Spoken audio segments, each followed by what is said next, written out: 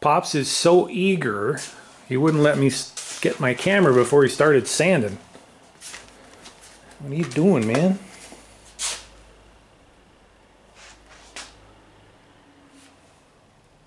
Bloviaximus maximus. I have no idea what that is. Bloviating master. Master Bloviator? Yes, yes. I see. All right, anyway, uh, we're back again. There's another tiny little dent in the hood there, I think.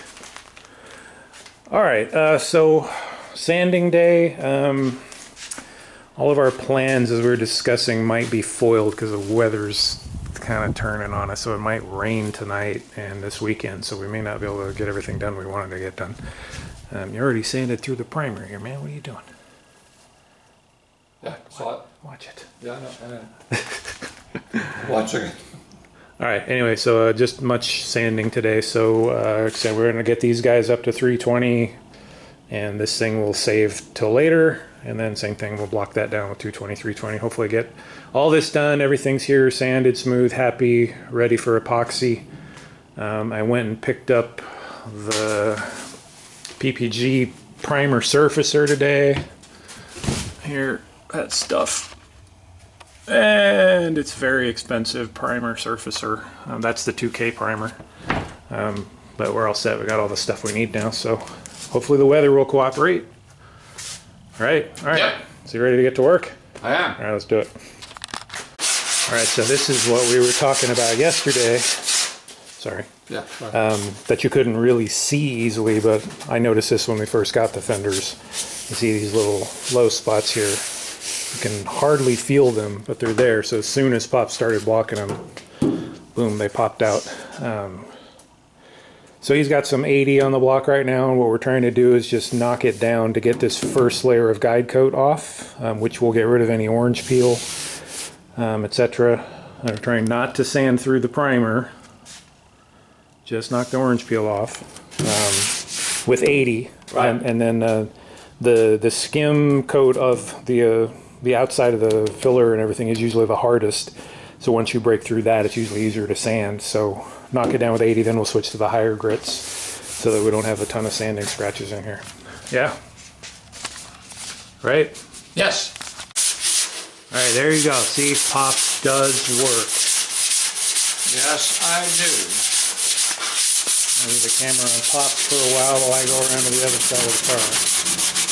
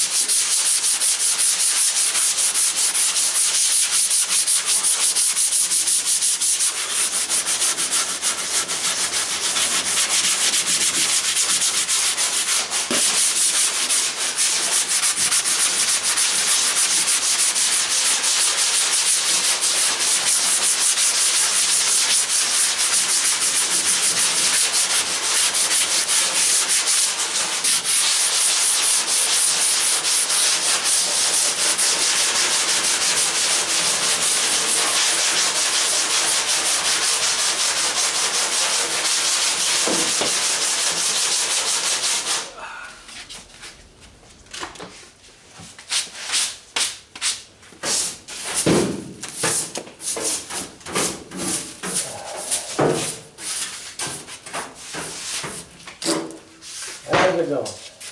Good.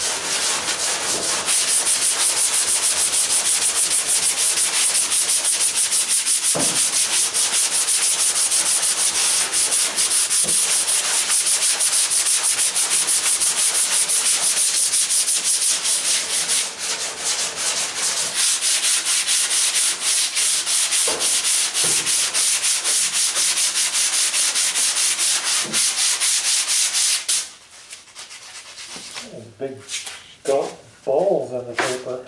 Got what? Big chunks in the paper. Yeah.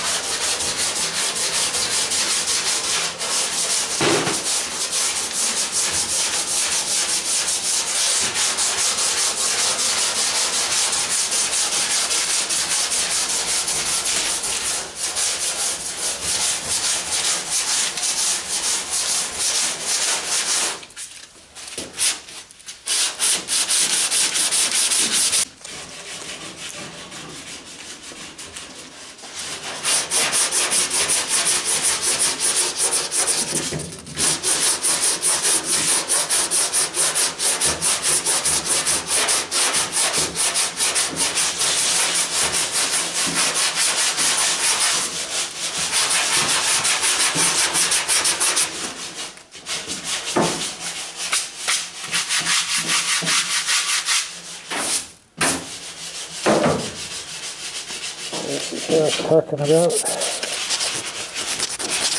Chunks.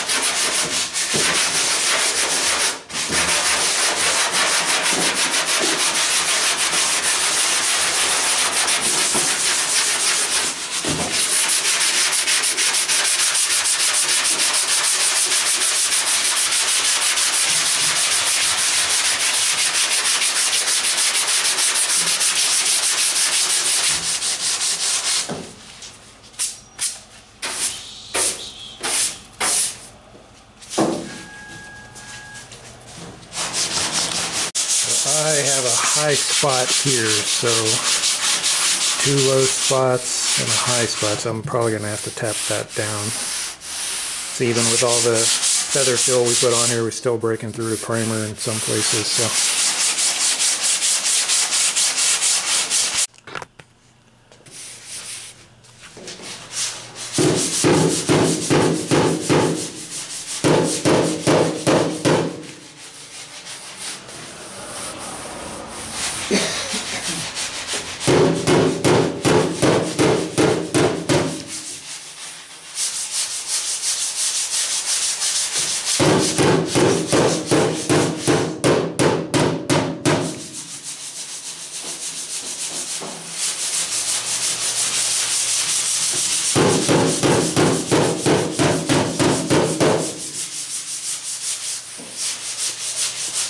put some filler on that.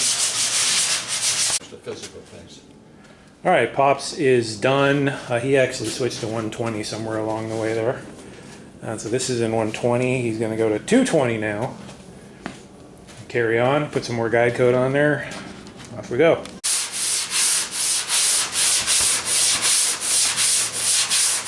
Done.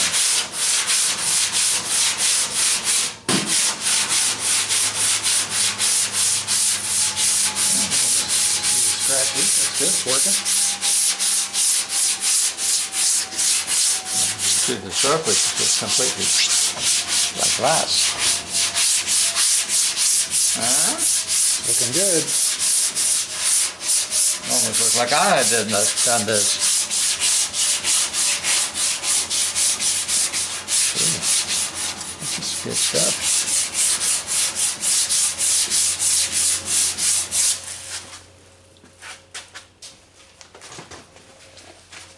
Now look at that, huh? Look at that. Looking pretty good. I think so. So we were talking about earlier, even with, uh, I don't know if I mentioned this already, um, all the stuff we put on here, we're still getting down into epoxy in a few places. So it's not as thick as it looks. Uh, so we still have to be careful when we're sanding it down. Hopefully when we're done with all of this, you'll see the epoxy peeking through in a bunch of places, which tells us that uh, we're very, very thin, which is what we're looking for. So this is your survivor. That's mine, hands All right. off. All right, Pop says this guy blocked down with 220. Uh, I'm just gonna work on this body line a little bit here and crisp it up a little bit. As we said yesterday, it was a little dull. Um, and while I'm doing this, he's working on the other side where I was, I got it up to 120, so he's taking over over there. So we're switching sides. Off to it, man. There's not a lot of material above that line there, so hopefully I can do something. Be careful. Yeah, we'll see. Hopefully there's enough for me to crisp it.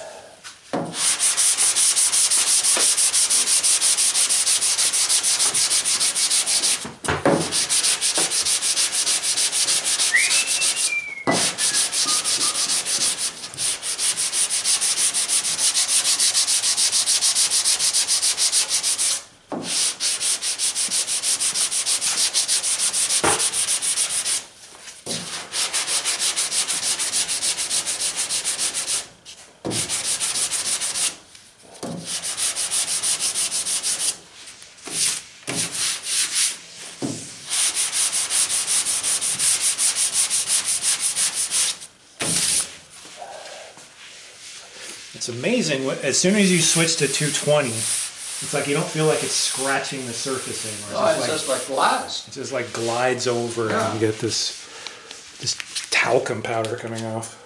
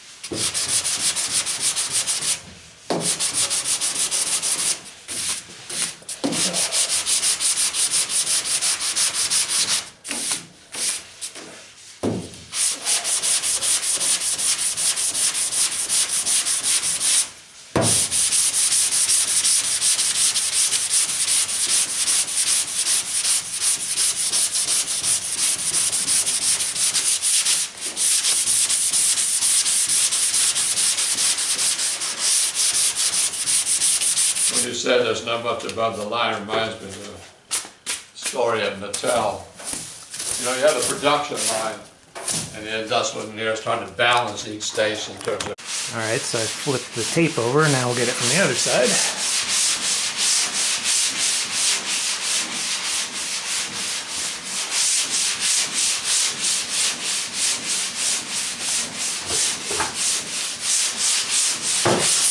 iron stove. I even used to Well, what? iron So, how beautiful the surface is. Yep. And Hold it just one time and it, and right. See then, that's all.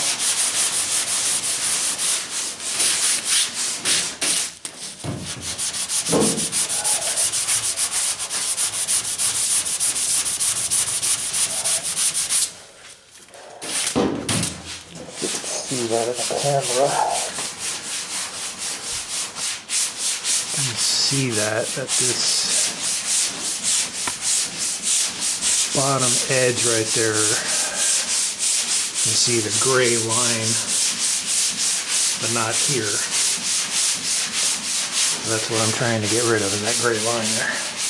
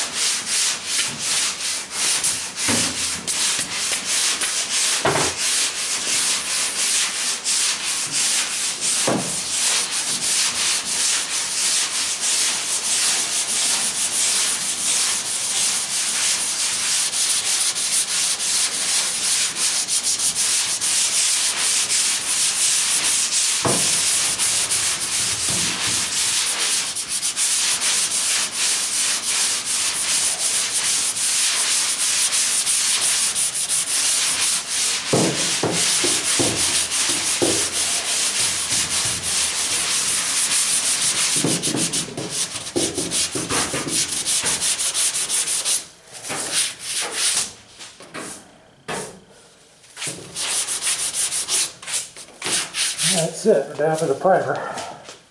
Huh? Down Out to through the, the primer? down to the epoxy, as far as I can go. Let's pull it off, see what that looks like.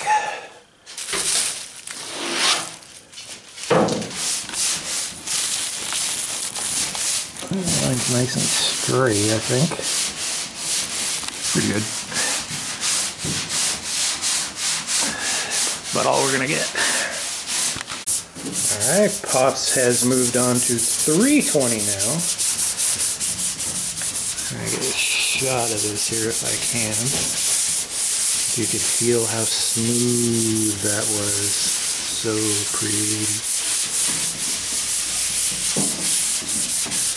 Um, and then on this side, I've been working down below here. There was a big dent down there that we missed. Filled that in. This guy's in 220 up top here. Just need to finish all the guide coat left here and then he's ready for 320. So we're almost done. Okay, we are done in 320. Um, so I was just saying to Pops that pretty much wherever we had done body work is where you see stuff showing through ish. Um, which means that's about as far as we could sand this stuff.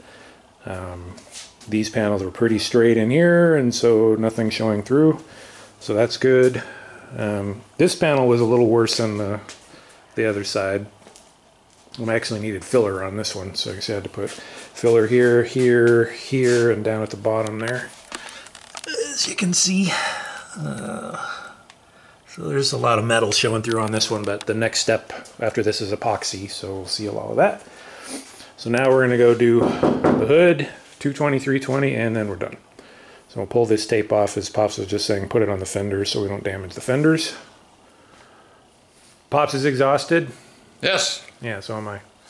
All right, we'll wrap this up and call it a day. Look at that, it looks like racing stripes. Yeah. All right, we're gonna try the white guide coat. I'm still not convinced the efficacy of this stuff, but I'm gonna try it. Get the top off. Off of there. It certainly leaves something behind, but does it actually matter when you get around to sanding? I don't know. I'll do your trick, and just spray this stuff on. So we know this thing is full of scratches, so hopefully it will show up with this stuff. Otherwise it's kind of useless.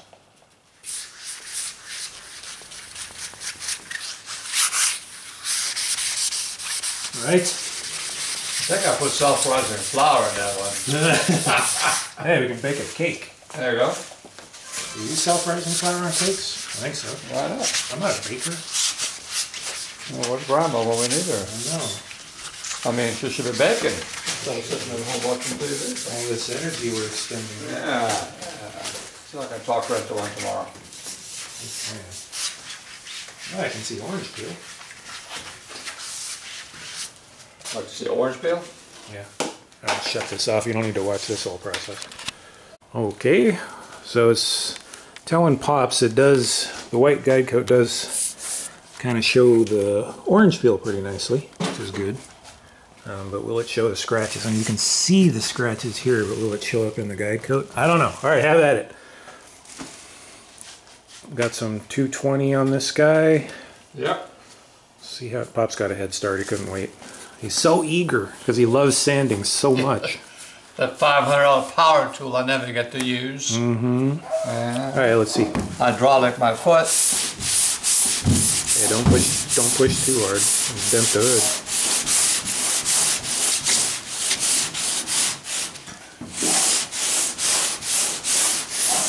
Pops, Pops is working so hard, he's moving the car. Now we're probably gonna have to clean the paper a Yeah, lot. a lot. This Yeah, because of the, the epoxy. It's gonna. nasty. You see all the orange peel in there? Well, that's good. You get those lumps to make those scratches there. Yep. Hopefully by the time we get to the 320, that'll go away. Yeah. Have to change it off and look. Yeah. Doesn't do any good. Well, you can still do a little bit more with that before it's gone. It's still doing something. As long as you're getting those kind of scratches, they're still doing something. But yeah, we're gonna have to change it fast and, and often. Do you want to work on the long blocks or do you want to use the short block? I'll take the minimum one, two inch block. Okay. Oh, Painting stick. paint, paint stick. There, you'll work on that corner right Yeah, I there. got it. All right. Minimize damage. Yeah, why don't you take the little blocks, and you can, I'll, I'll work with the big one then. Sounds good to me. Trade, trade for now. If you're finding that it's easier to sand with small blocks, they don't gum up quite as fast. Still gums up a lot though.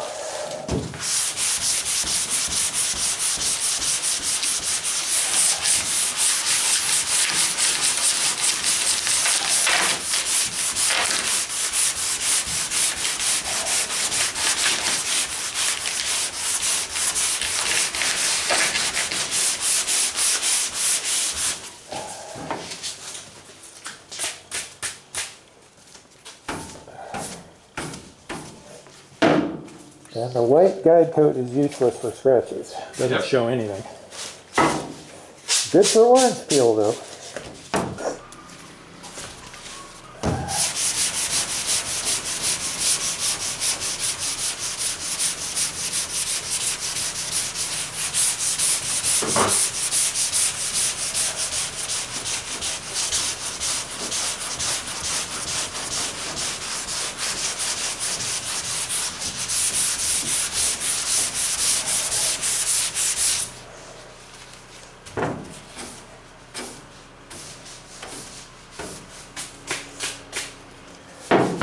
So I think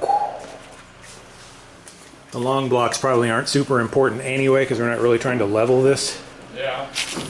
There's just basically just, you know, that one thin coat of epoxy, so we're just trying to take scratches out, so I don't think the long blocks really matter. Um, probably, uh, we'll try again on the 320 and see if it works there. All right, that's done in 220. Um, the epoxy sands pretty easily. It just gums up the paper so fast. Um, you can see it's still shiny there. So that's what we're using for our guide coat for the scratches basically. Is can you see them reflecting there? Um, so it's they're almost all gone. So we're gonna hit it with 320 now. And that should do it. You can see that over there probably better. Right. So after the 320 we should be good here. And it's getting late. Six oh four. 604. Ah, that's really late. All right, so we're gonna try and wrap this up and get out of here. All right, so this is sanded up to that edge there pretty well. There's not really anything showing. Uh, Pops has this side done in 320 up to there-ish. So we're gonna flip the line to the other side. And then he can come back over and work on this side and we're done. Right? Almost. Alrighty, we are done. See how our hood line came out there, if you can see that. Looks good. Uh, so this blocked out fine, because it was a pain in the rear because of the clogging of the paper, but uh, came out good. Um, so, uh, this guy's basically ready for epoxy in 2K now. Um, as we said, there's a few spots left on the car we have to finish up minor stuff, but everything else is in 320 now. Ready for action. Pretty exciting. This is a big milestone, Pops. Yeah. I mean, we're not quite there, but almost there. Almost. You're good. Uh, we did real good. This is a big, big day today. We worked our tails off today. Um, but we got all of this done, which is great. So the plan would have been to paint tomorrow, but I think the weather's going to suck tomorrow, so we'll see. Um, if it's not at least, I don't know, 68, probably won't do it, 68 degrees. And you know, reasonable humidity. It's usually never humid here at all, right? But it's there's a storm system coming through, so if it's mid 60s and like 80% humidity, I don't think we're going to be painting. Um, but you guys tell me what you think. If you think we uh, we should paint anyway, well maybe. Still a little shiny over here. We gotta clean this up a little bit. I'll bit. let you do that on the night shift while I go home. Yeah, pick that up tomorrow. We'll just take a Scotch Brite to that stuff. Yeah. That's basically the next step. Is except for the bottom of the car, just go around the car and look for anything that's shiny and scuff it up um, in prep for paint. Of course, you have to clean everything. It's filthy. Um, that's all right. All right, that's gonna do it. Any last words, pops? No, I'm happy. I'm going home. I got work to do outside still in the dark. Hey, that doesn't sound like fun. All right. Yeah, I'm beat. You're beat. How's your shoulder? I feel great. your shoulder It's feels my thumb, that one. That gets me after a while, you know. Yeah. Shoulder's good though. Oh yeah, fantastic. Oh, sweet. Yeah, that's what I tell them. They don't know the difference. All right, everybody. Danke. Fila, Fila. What's Fila? fila danke. Many thanks. Many thanks. Oh, so Yeah. I learned something new today. I'll forget it tomorrow. Yeah. Goodbye, everybody. Good night.